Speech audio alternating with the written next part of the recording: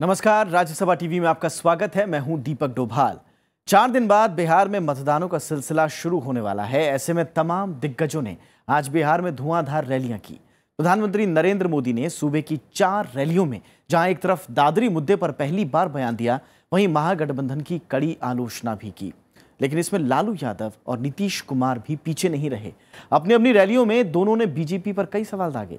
असल में पूरा दिन आज चुनावी हलचलों से लबरेज रहा। बीजेपी अध्यक्ष अमित शाह पर हुई एफआईआर के सिलसिले में पार्टी के एक प्रतिनिधि मंडल ने चुनाव आयोग से मुलाकात भी की है। हम ये तमाम खबरें आप तक पहुंचाएँगे, लेकिन सबसे पहले हेडलाइंस पर एक नज़र। नवादा की रैली में प्रधानमंत्री का राष्ट्रपति के संदेश के सम्मान की अपील, कहा सांप्रदायिक सौहार्द और भाईचारे से ही देश बढ़ेगा आगे। महागठबंधन का बीजेपी से कई सवाल। नीतीश ने कहा, बीजेपी के पास बिहार में नहीं कोई चेहरा। लालू यादव ने बताया, पिछड़ा दलित विरोधी। चुनाव आयोग से मिला बीजेपी का प्रतिनिधिमंडल। पार्टी अध्यक्ष अमित शाह पर एफआईआर की शिकायत, कहा स्थानीय प्रशासन निष्पक्ष नहीं।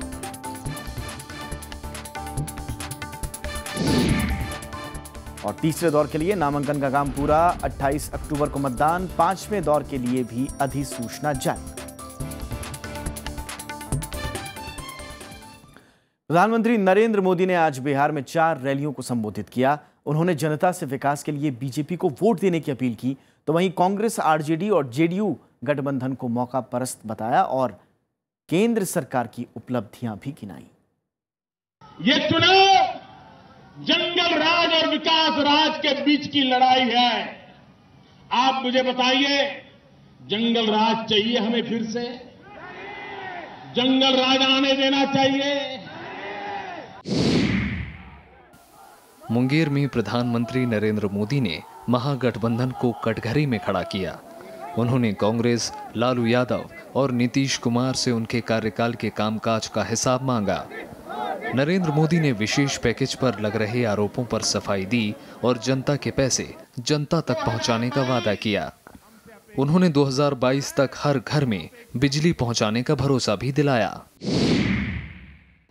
2022 जब आज़ादी के 75 साल होंगे, मैं हिंदुस्तान के हर गाँव में 24 घंटे बिजली पहुंचाना चाहता हूँ। प्रधानमंत्री ने सरकारी आंकड़ों के हवाले से नीतीश सरकार पर निशाना साधा। उन्होंने कहा कि इस साल जनवरी से जुलाई के बीच बिहार में चार हज़ार अपहरण हुए हैं। 1975 के आपातकाल का मसला भी उठाया। उन्होंने कांग्रेस के साथ लालू नीतीश के महागठबंधन को मौका परस्ती करार दिया। प्रधानमंत्री ने बीफ को लेकर लालू यादव के बयान की आलोचना की। मुझे शर्म आती है, बोलने से शर्म आती है लालू जी। कभी कैसे मेरे देशवासियों का ऐसा अपमान मत करो। मेरे यदुवंशियों का ऐसा अपमान मत करो। मैं कृष्ण के द्वारका की धरती से आया हूँ मुझे पीड़ा जरा ज़्यादा हो रही है। आपकी इन बातों से। प्रधानमंत्री ने मुंगेर बेगूसराय समस्तीपुर और नवादा में गुरुवार को चार रैलियों को संबोधित किया। चुनाव की तारीखों के ऐलान के बाद ये दूसरा मौका है जब प्रधानमंत्री बिहार पहुँचे हैं। आने वाले कुछ दिनों में प्रधानमंत्री की कई रैलियाँ प्रस्तावित हैं। Bureau report Rajya Sabha TV. इधर प्रधानमंत्री नरेंद्र मोदी ने लोगों से देश में सांप्रदायिक सौहार्द और भाईचारा बनाए रखने की अपील की है। बिहार के नवादा में चुनावी रैली में उन्होंने कहा कि हिंदू और मुस्लिम साथ मिलकर गरीबी से लड़ें। प्रधानमंत्री ने राजनेताओं की ओर से दिए जा रहे भड़काने वाले बयानों से बचने की सलाह दी। प्रधानमंत्री के बयान को दादरी घटना पर प्रतिक्रिया के तौर पर देखा जा रहा है। क्या हिंदुओं ने मुसलमान के खिलाफ लड़ना है कि गरीबी के खिलाफ लड़ना है?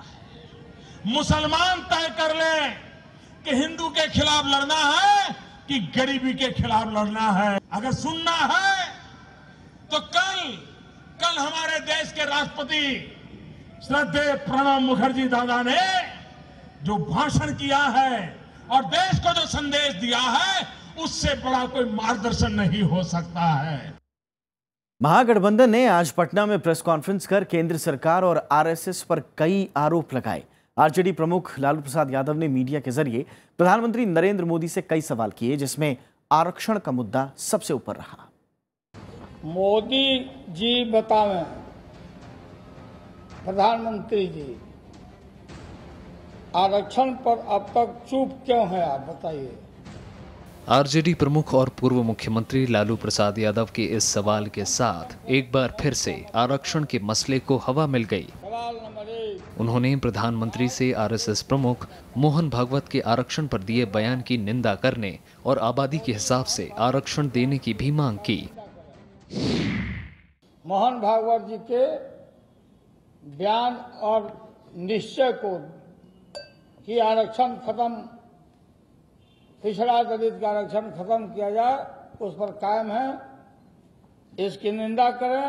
आबादी के अनुपात में हमारा रिजर्वेशन जो हम लड़ाई लड़ रहे हैं उसको बढ़ाइए। जितना जिसकी आबादी है आरक्षण करो। लालू प्रसाद यादव ने आरएसएस और बीजेपी को दलित विरोधी करार दिया। इस बाबत उन्होंने प्रधानमंत्री की लिखी एक किताब का भी हवाला दिया।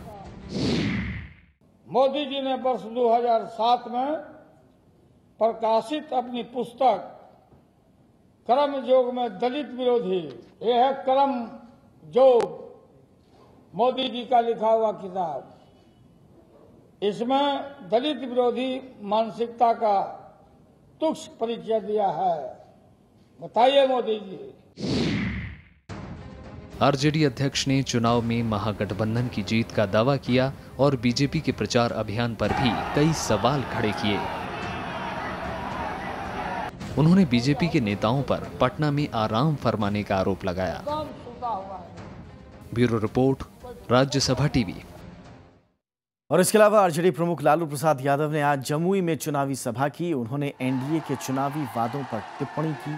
साथ ही आरक्षण मुद्दे को लेकर आरएसएस पर कई आरोप लगाए। लालू यादव ने बीजेपी के जंगल राज के आरोपों को सिरे से खारिज किया। उन्होंने एनडीए की रंगीन टीवी, लैपटॉप और स्कूटी देने के वादे पर भी सवाल उठाए। तिलक लेके बीजेपी खड़ा है। तिलक के लिए वो बना अगर का चुनाव आया तब बोलता है कि हम कलर टीवी लेंगे रंगीन टीवी लैपटॉप और इधर बिहार के मुख्यमंत्री नीतीश कुमार ने आज औरंगाबाद और गया में कई रैलियों को संबोधित किया। उन्होंने प्रधानमंत्री नरेंद्र मोदी पर तंज कसा कि उन्हें चुनाव से पहले कई हवाई चक्कर काटने पड़ रहे हैं। नीतीश कुमार ने फिर दोहराया कि एनडीए के पास बिहार में कोई चेहरा नहीं है। उन्होंने जंगल राज और अपराध के बढ़ते ग्राफ पर भी पलटवार किया और कहा कि जिन जिन राज्यों में बीजेपी की सरकार है, वहाँ अपराध का ग्राफ बिहार से कई गुना ज़्यादा है। प्रधानमंत्री जी एकदम घूम रहे हैं कि दिन में पता नहीं कितना कितना मीटिंग बिहार में कोई नेता तो है नहीं कि जिसका चेहरा सामने रखे। और इस वक्त हम चलेंगे सीधा पटना जहाँ पर हमारे साथ हिंदुस्तान टाइम्स के deputy resident editor Rai Atul Krishna ji मौजूद हैं हमारे साथ। कृष्णा जी बहुत बहुत स्वागत है आपका। अ, मैं थोड़ा समझना चाहूँगा क्योंकि अब पहले दौर का जो मतदान है वो कुछ दिनों बाद या कुछ घंटे अब तो रह गए हैं वो वो प्रचार का दौर थम जाएगा। ऐसे में जो आज दोनों गठबंधनों ने जो पूरी ताकत झोंकी है, एक तरफ़ नीतीश लालू रैलियाँ करते दिखे, दूसरी तरफ़ प्रधानमंत्री थे। अब क्या मायने रह गए हैं? अब अब अब, जो अभी, जो प्रचार अभियान है, उसमें फ़िलहाल किस तरह, जो, जिस तरह की बातें आ रही हैं, उसमें क्या आपको लग रहा है कि बिहार के आम बाशिंदों की चिंता है, आम आदमी की चिंता है, या फिर सियासी सब बयानात ही आप देख पा रहे हैं?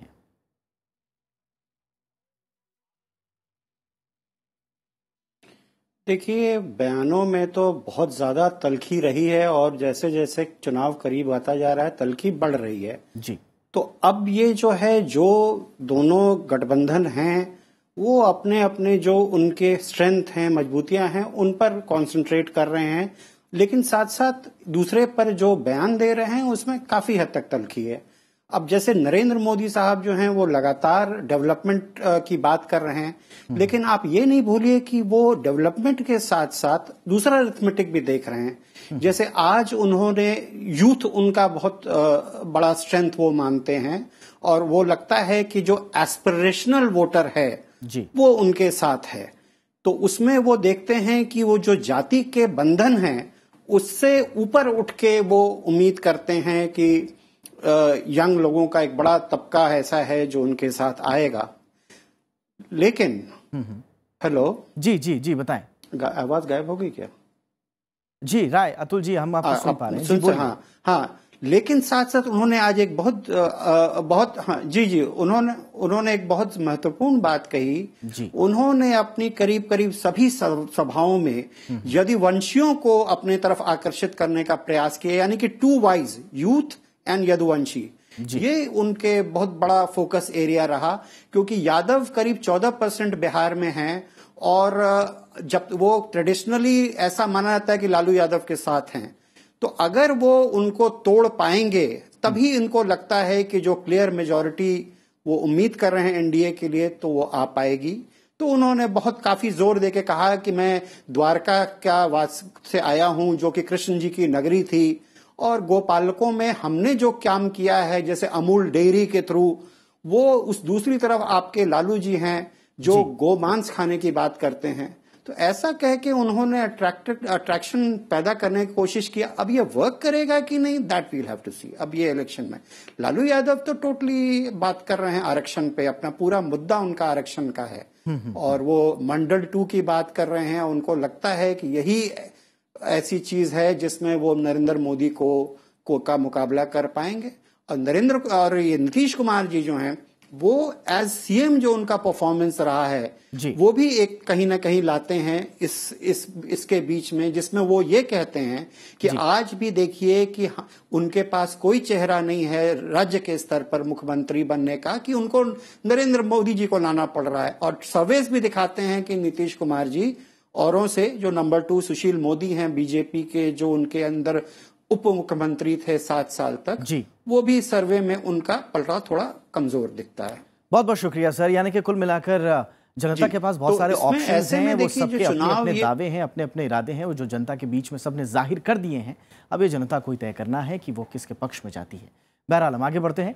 बीजेपी अध्यक्ष अमित शाह पर बिहार में दर्ज एफआईआर के खिलाफ आज पार्टी का एक प्रतिनिधिमंडल चुनाव आयोग के ऑफ़िस पहुँचा। प्रतिनिधिमंडल ने चुनाव आयोग से स्थानीय प्रशासन की शिकायत की। केंद्रीय मंत्री वेंकैया नायडू ने कहा कि बीजेपी अध्यक्ष अमित शाह ने कुछ भी आपत्तिजनक नहीं कहा और स्थानीय प्रशासन निष्पक्ष कार्रवाई नहीं कर रहा है। उन्होंने महागठबंधन पर भी हमला बोला और एमआईएम के नेता अकबरुद्दीन ओवैसी के अपशब्दों की भी कड़ी निंदा की। उन्होंने चुनाव आयोग से ओवैसी के खिलाफ सख्त कदम उठाने की अपील की।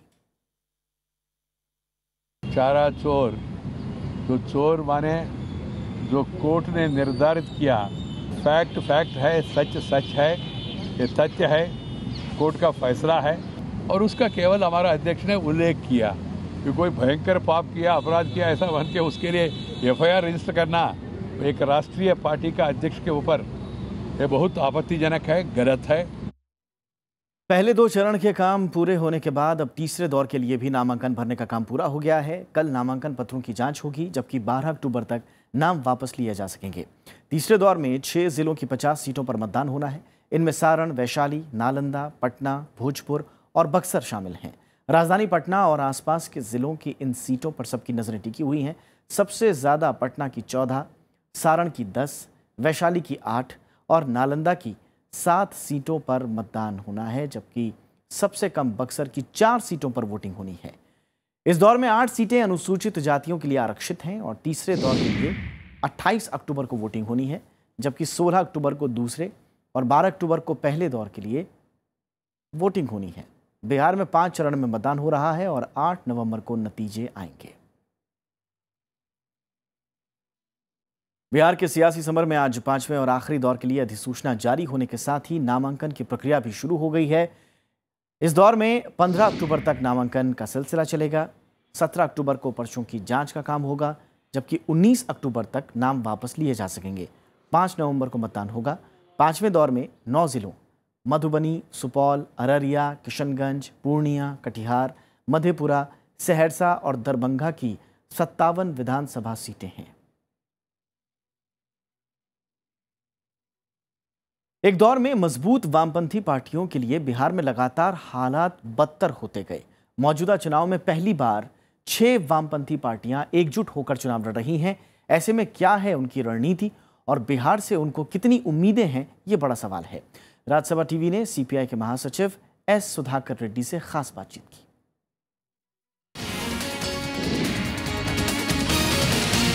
वाम दल के हमारे साथ राष्ट्रीय महासचिव सुधाकर रेड्डी जी हैं। किस तरीके से आप चुनाव लड़ रहे हैं? आपकी स्ट्रेटेजी क्या है? हमारा स्ट्रैटेजी है एक वैकल्पिक पॉलिसी से बिहार असेंबली में वामपंथी पार्टियों का एक स्ट्रांग लेफ़्ट कंटिजेंट को जिता के बिहार का नीति बदलने के लिए कोशिश कर क्या ये जो पार्टियाँ जिनके साथ आप हमेशा से रहे हैं यूपीए वन में आपने यूपीए वन का आपने साथ दिया उसके बाद आप नीतीश के साथ भी रहे लालू के साथ भी रहे तो क्या ये आपको डैमेज करने के लिए इस तरीके की बात कर रहे हैं? या फिर आप आप मजबूती से न लड़ सकें, ये एक कोशिश कर रहे हैं आपके लिए? क्योंकि आपके साथ अलायंस नहीं हो पाया उनका। हमारा साथ अलायंस करने का बारे में वो लोग कभी कोशिश भी नहीं किया और वामपंथी पार्टियों को इसके साथ इंटरेस्ट भी नहीं था। ये बार पहले से सीपीआई सीपीएम माले, ये सब पार्टियाँ अलग अलग चर्चा करके एक निर्णय लिया। ये बार वैकल्पिक पॉलिसी से वामपंथी का एक अल्टरनेटिव फ्रंट एक लेफ़्ट ब्लॉक से कंटेस्ट करने का ज़रूरत है। कुछ ऐसे ऐसे शब्दों का प्रयोग किया जा रहा है जो कि आमतौर पे होना नहीं चाहिए। आप इसको सही मानते हैं राजनीति में इस तरीके की भाषा का प्रयोग चाहे कोई भी कर रहा हो किसी भी दल की तरफ़ से हो रहा हो? ये बहुत गलत है और बुर्जुआ पॉलिटिकल पार्टी से इससे ज़्यादा एक्सपेक्ट नहीं कर सकते। भारतीय जनता पार्टी और दूसरा तरफ़ से वो लोग भी क्लैरिटी नहीं बोलते। ये रिजर्वेशंस का बारे में। मोहन भागवत आरएसएस इसका मार्गदर्शक है। बार बार ये लोग बोल रहे स्वयं सेवक है। पहले स्वयं सेवक है, बाद में भारतीय जनता पार्टी का मेंबर इस विधानसभा चुनाव में 2015 में सीपीआई अपने आप को रिज़ल्ट के बाद कहाँ पा रही है, कहाँ देख रही है अपने आप को? वामपंथी पार्टियों ने लेफ़्ट ब्लॉक, एक स्ट्रांग लेफ़्ट ब्लॉक से बिहार का राजनीति बदलने के लिए, बिहार का विकास के लिए इन्फ्लुएंस करने के लिए वामपंथी पार्टियों का स्ट्रांग लेफ़्ट ब्लॉक के लिए सीपीआई कोशिश कर रहा है। बिहार का औरंगाबाद जिला पिछले कई सालों से नक्सल की समस्या से जूझ रहा है और इस समस्या का अब तक कोई हल नहीं निकल पाया। यहाँ रहने वाले लोग विकास की ललक तो रखते हैं, लेकिन नक्सल प्रभावित होने की वजह से उनके अंदर एक डर बैठा हुआ है। औरंगाबाद से देखिए हमारी ये खास रिपोर्ट।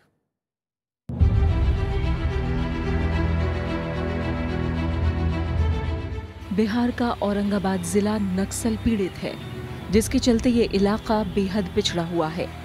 यही वजह है कि यहाँ के लोग विकास की बजाय नक्सली समस्या से निजात को प्राथमिकता देते हैं। आने वाला समय में इसको तो सुधार करना बहुत ज़रूरी है।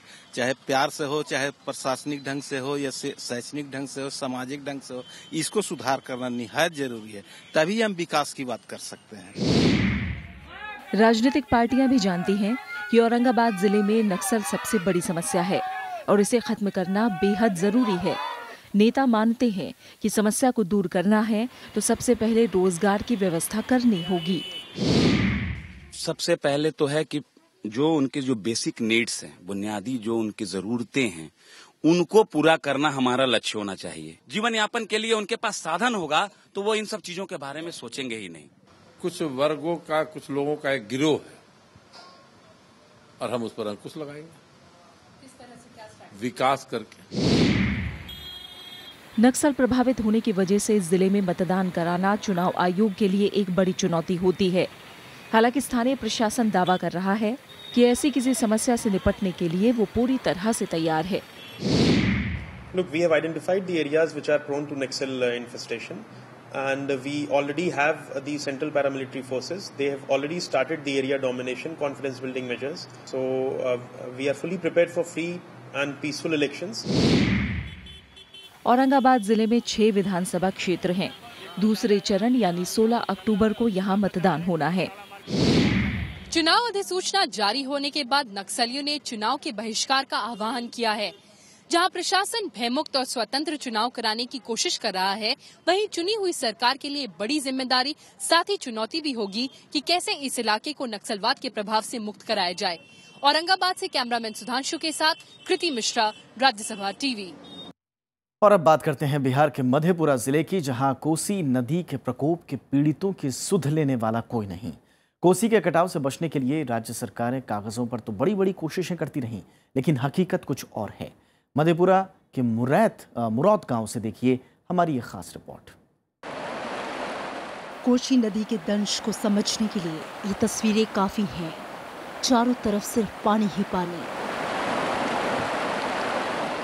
पानी का बहाव इतना तेज है कि कोई इसके जद में आ जाए तो फिर बच नहीं पाता।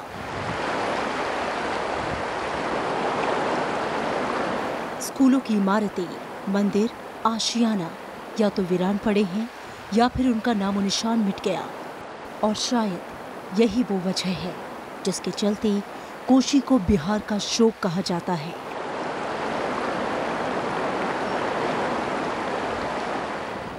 कोशी की मार झेल रहे मुराद गाँव की आबादी कभी पाँच हज़ार थी। लेकिन आज हालात ये हैं कि मंदिर, स्कूल, आशियाने के साथ गाँव की खेती की ज़मीन भी इसकी भेंट चढ़ गई। गाँव वाले दर दर भटक रहे हैं। कोई सड़क के किनारे रह रहा है तो किसी के पास रहने के लिए सड़क का किनारा भी नहीं बचा है। कटने के बावजूद कहने के बावजूद भी हम लोग निहाय होकर के, निसंग होकर के कोई सहारा नहीं मिल रहा है। दीजिए हमको वोट। हम जीतेंगे तो हम जीतेंगे। अपना पूंजी मट करता है। गरीब लोग को देखता नहीं है। एकदम ने कोई ने। और सरकार ताकई से चटनी पर वोट दे के जिताए देवे। बड़का टके हो जीते। कोशी नदी के पीड़ितों का दर्द तब सुर्खियों में आता है जब चुनाव नज़दीक होता है। इस बार फिर चुनाव है। लिहाजा एक बार फिर इनकी सुध लेने का दावा किया जा रहा है। पिछले कई सालों से कोशी के नाम पर करोड़ों रुपए आवंटित होते आए हैं लेकिन वो सिर्फ़ कागजों तक ही सीमित रह जाते हैं। नदी में पूरे से कुछ देते हैं खाली जीता है वोट से। नहीं देते कुछ आलमनगर के मुरौत और चौसा के फुलौत और अन्य कई गाँव लगातार कोसी कटाव से वहाँ के लोग विस्थापित होते रहे हैं। करोड़ों रुपया की लूट उस योजना के तहत हो चुका है। कहाँ गया पैसा कौन लूट ले गया पैसा ये पता नहीं चल रहा है और न इसकी कोई जाँच हो रही है। मुरौद के अलावा बड़ी खाल फुलौत पंचायत के कई और गाँव भी कोशी नदी के कटाव से प्रभावित हैं। Bureau report Rajya Sabha TV. Bihar के वैशाली को लोकतंत्र की जननी के तौर पर जाना जाता है लेकिन आज़ादी के करीब सात दशक बाद भी ज़िले की समस्याएँ जस की तस हैं। विधानसभा चुनाव में अब लोग सरकार पर इस क्षेत्र की उपेक्षा का आरोप लगा रहे हैं। राजधानी पटना से नज़दीक होने के बावजूद वैशाली उपेक्षित नज़र आता है। चुनाव दर चुनाव बीते लेकिन वैशाली हमेशा की तरह बिजली सड़क और पानी के मुद्दे से ही दो चार है। यहाँ पर जो भी लोग आए हैं ना ही उन्होंने आज तक शिक्षा को सुधार करने की कोशिश की। टूरिस्ट के लिए हॉस्पिटल्स जो कि बेसिक चीज़ें हैं वो नहीं है यहाँ पे। ट्रांसपोर्टेशन के रूप में सरकार की तरफ़ से कोई सुविधाएँ नहीं है। बिहार के वैशाली ज़िले में कुल आठ विधानसभा क्षेत्र हैं। साल 2010 के विधानसभा चुनाव में बीजेपी के तीन और जेडीयू के पाँच विधायक चुनाव जीते थे क्षेत्र में जो काम होना चाहिए जनता के साथ, जनता के विकास का काम, शिक्षा के क्षेत्र में, रोज़गार के अवसर पैदा करने के क्षेत्र में, किसान के खेती के क्षेत्र में, वैसा कोई काम यहाँ के जो जनप्रतिनिधि रहे आज तक नहीं किए यहाँ की महुआ और राघोपुर सीट पर लालू प्रसाद यादव के दोनों बेटे चुनाव लड़ रहे हैं। लेकिन जानकारों का मानना है कि धार्मिक और ऐतिहासिक स्थल होने के बावजूद पर्यटकों के लिहाज से यहाँ कभी खास विकास नहीं किया गया। टूरिस्ट आते हैं पटना में रुकते हैं गया में रुकते हैं। ठहराव यहाँ है नहीं। सरकार के आज तक केंद्र सरकार हो या राज्य सरकार हो ध्यान इस वैशाली पे है ये नहीं है किसी के पास। वैशाली ज़िले में करीब 20 लाख मतदाता हैं। विधानसभा सीट पर तीसरे चरण के तहत 28 अक्टूबर को मतदान होना है। रविंद्र सिंह चौरान राज्यसभा टीवी। लोकतंत्र 2015 में फ़िलहाल इतना ही। दीजिए पूरी टीम को इजाज़त। नमस्कार।